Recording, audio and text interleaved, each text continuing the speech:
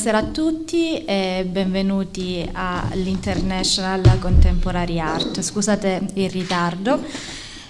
E, ehm, avete visitato tutti la mostra. Uh, mi dispiace che i ragazzi dell'Accademia siano già andati via perché ci interessava conoscere anche eh, la, uh, la loro opinione.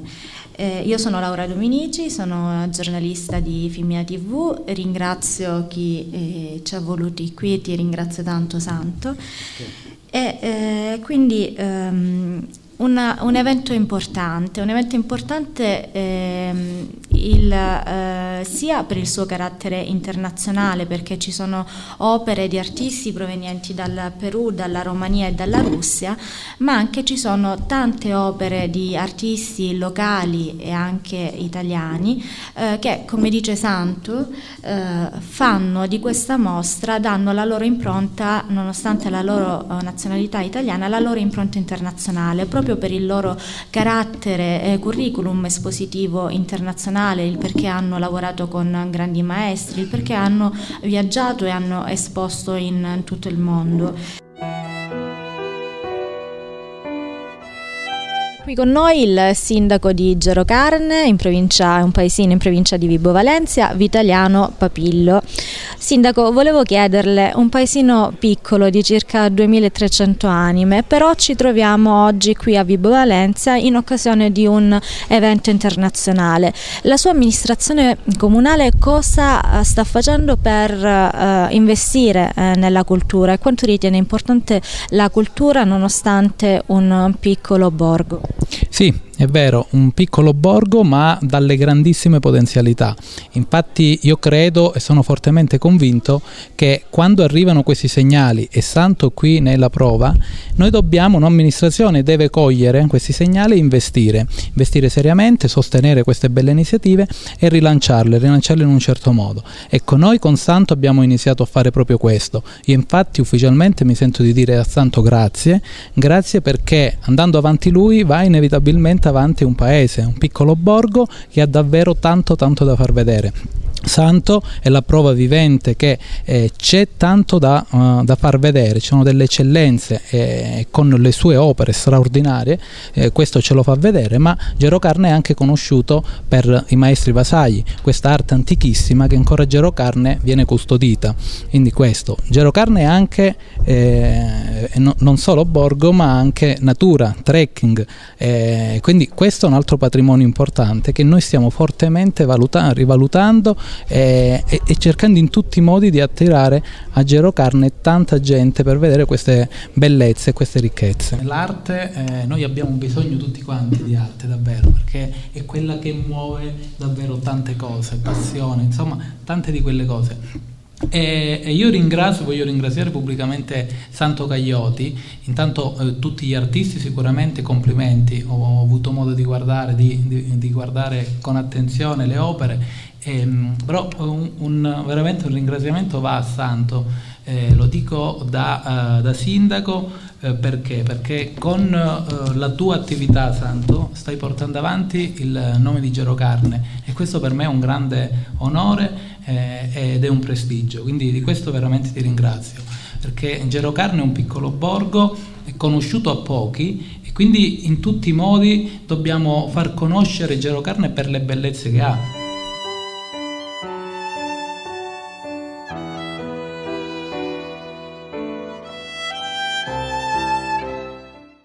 All'International Contemporary Art il 7 di maggio sarà presentato il libro L'ombra di Diana.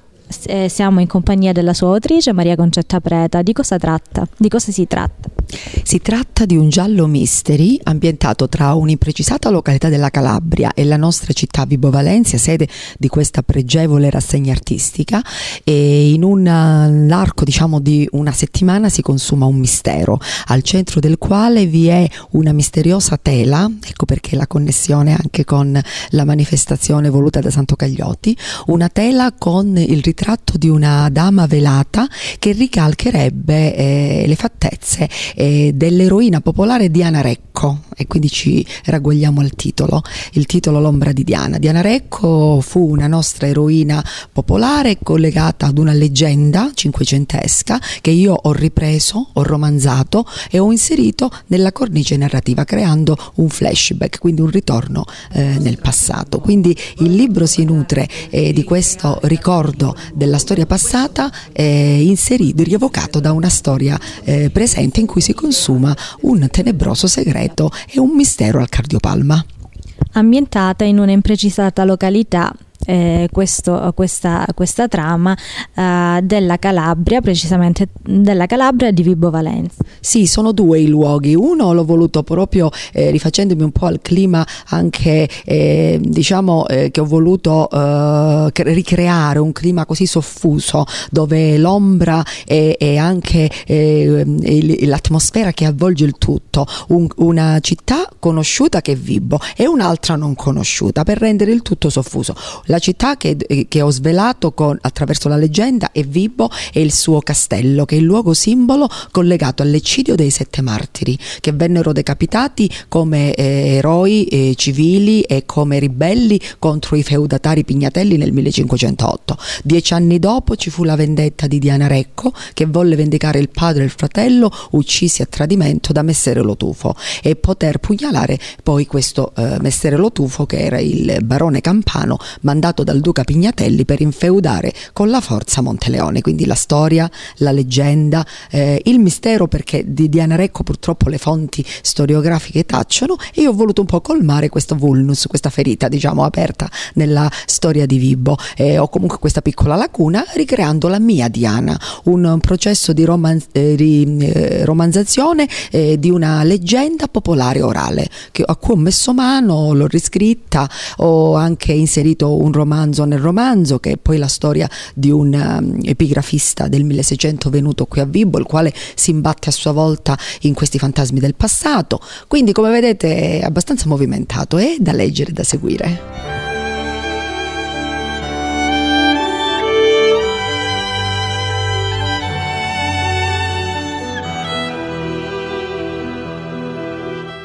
Accademia ci sono dei corsi, c'è pittura, scultura, scenografia, grafica, cinema, due corsi di restauro, restauro pittorico e restauro del libro antico.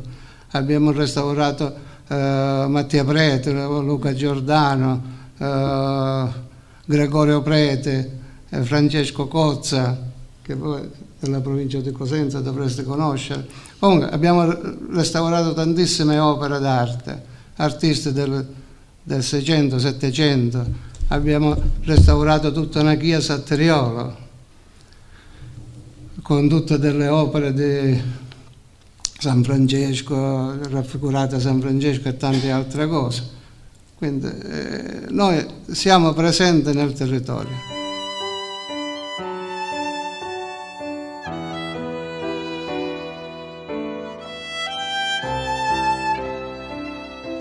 all'International Contemporary Art, qui con me Mariella Costa, che saluto, ciao Mariella. Buonasera.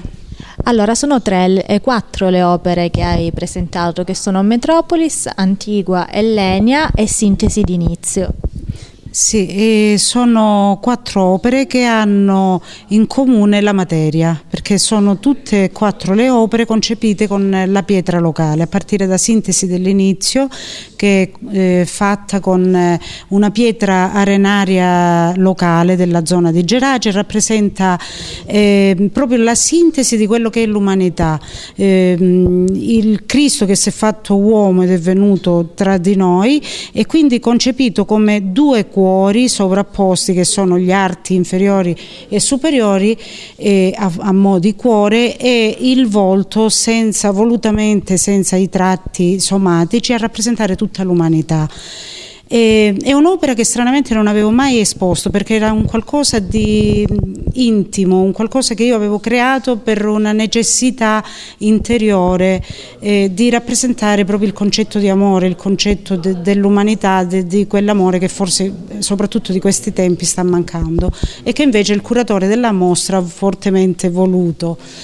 E le altre figure, eh, quindi c'è un continuum um, volendo in queste opere. E poi si arriva da quello che è il nostro inizio a, alle forme ancestrali della figura eh, umana, soprattutto femminile, quindi c'è antiqua, eh, delle figure di ehm, apparente età ellenica e quindi la donna eh, nel massimo della sua eh, opulenza artistica che però ho voluto eh, ritrarre in una forma ancestrale.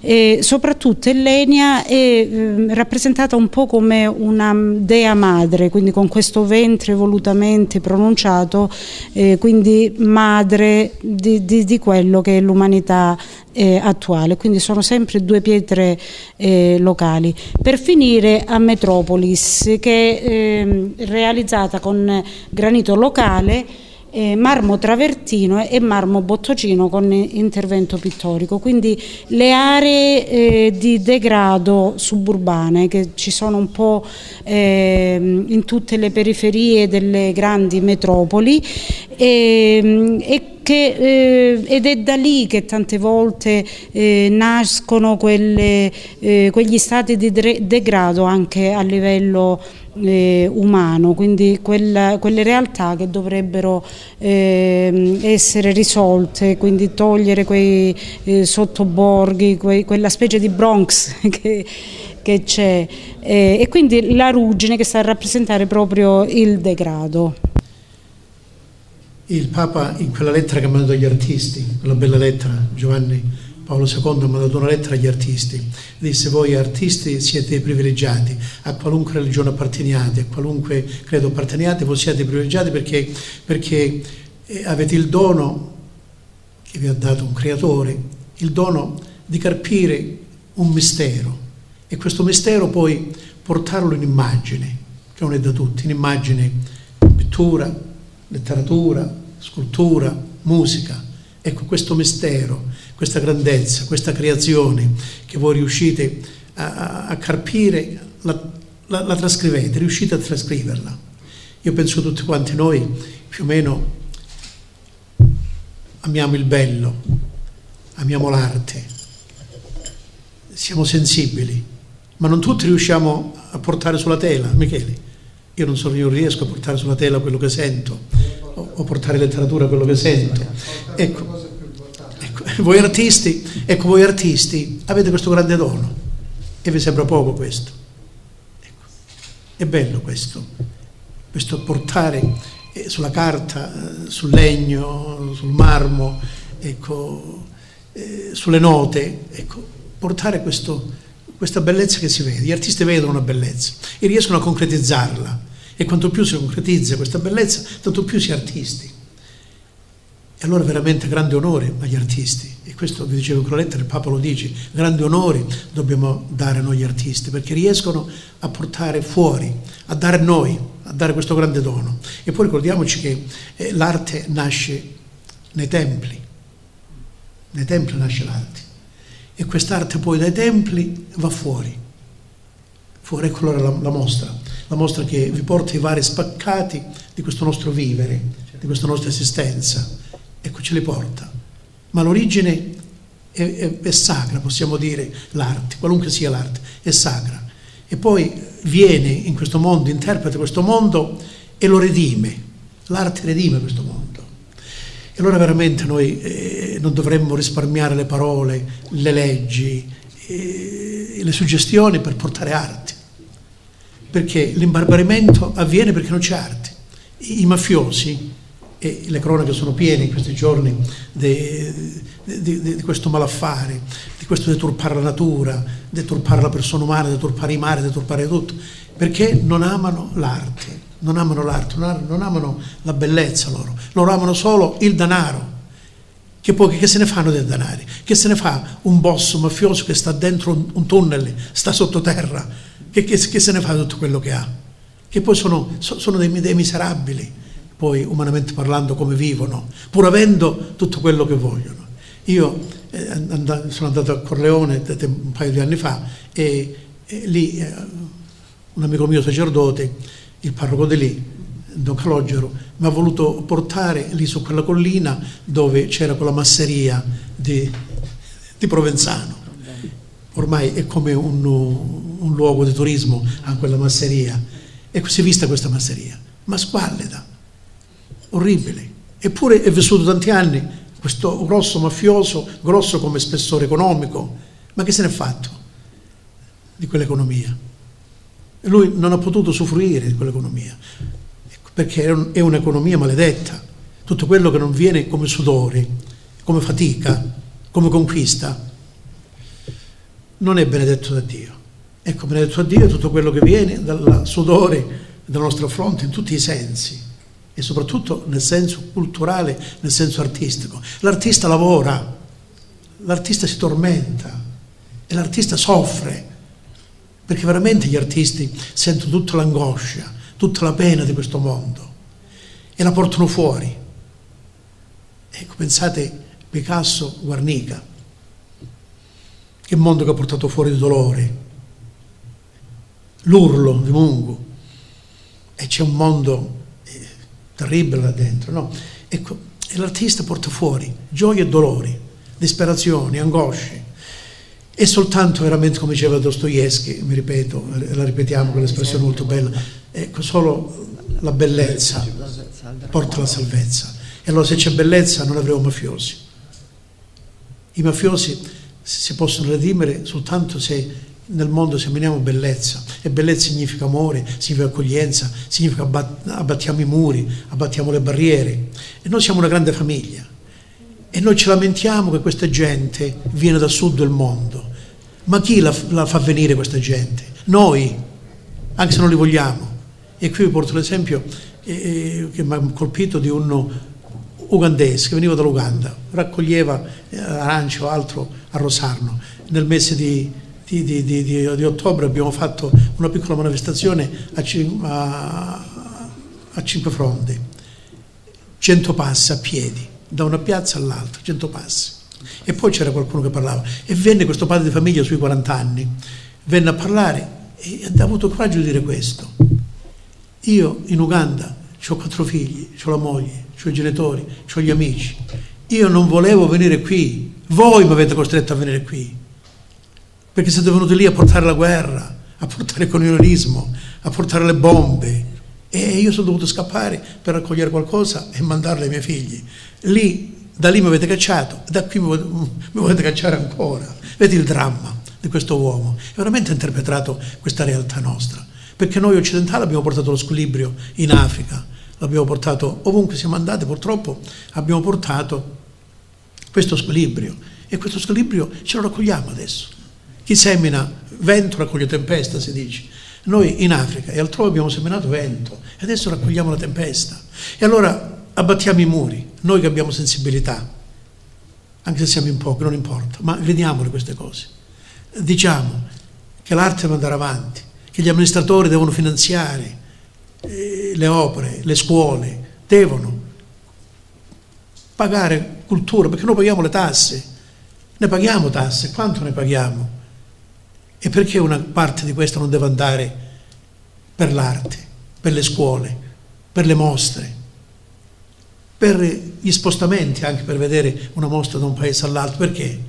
Dobbiamo pretendere queste cose noi, dobbiamo pretendere, perché in altri campi si scialacqua, in altri campi si disperde e, e si distruggono patrimoni immensi in altri campi. Perché si, pre, si pre, vengono privilegiate le grandi opere?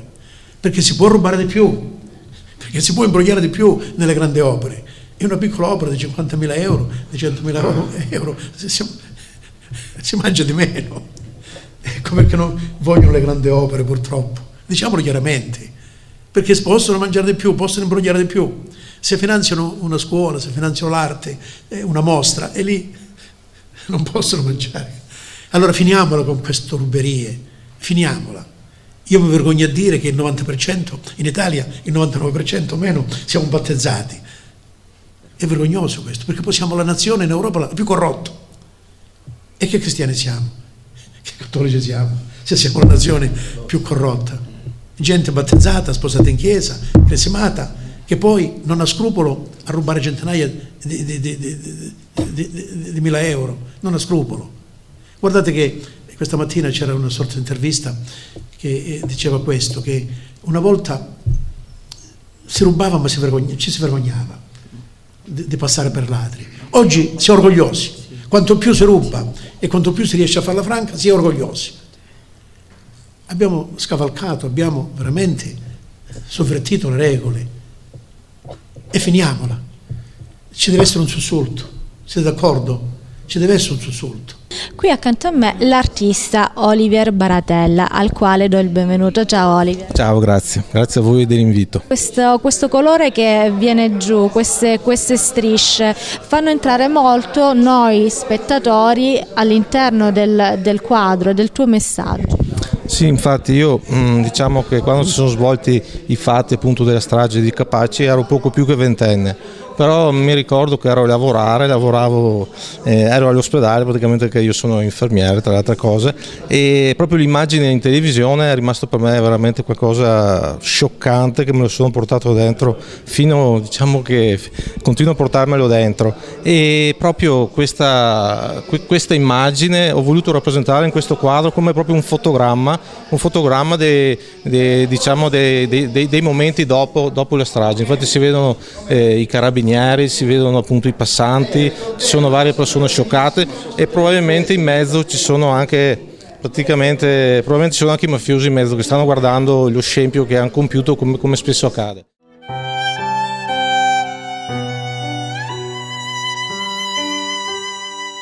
Qui con me Don Giuseppe Fiorillo, eh, al quale do il benvenuto. Grazie. Grazie, grazie. buonasera. Uh, io oh, vorrei che lei ripetesse uh, l'importante lettera che uh, il Papa ha scritto agli artisti in questo contesto che è l'International Contemporary Art. La lettera scritta agli artisti è di Giovanni Paolo II, che adesso è San Giovanni Paolo II, lui, anche lui era un artista, era stato un attore e ha interpretato bene in questa lettera, ha interpretato bene il mondo degli artisti. Lui praticamente disse che gli artisti sono uomini e donne privilegiati, privilegiati perché hanno avuto questo dono di capire un certo mistero che vaga in questo mondo e questo mistero di bellezza averlo saputo e saper portare in immagini, in pittura, in scultura, in letteratura, in musica, portarlo agli uomini. Ecco, non tutti abbiamo questo dono. Loro questi uomini, queste donne che hanno questo dono sono dei privilegiati ed essendo dei privilegiati devono veramente sacrificarsi, lavorare, eh, sudare, faticare per migliorare questo mondo per ingentilire questo mondo e per abbellire questo mondo. Questo, grosso modo, è il senso di questa bella lettera eh, scritta, mi pare, nel 1999 agli artisti.